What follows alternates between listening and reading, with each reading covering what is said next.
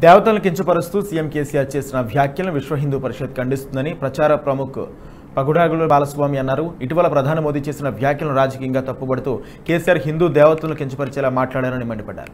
వ్యంగ్యమైన మాటలతో ప్రజల మనోభావాలు దెబ్బతిన్నాయన్న బాలస్వామి జోగులాంబ అమ్మవారిని అవమానించడం క్షమించరాదన్నారు.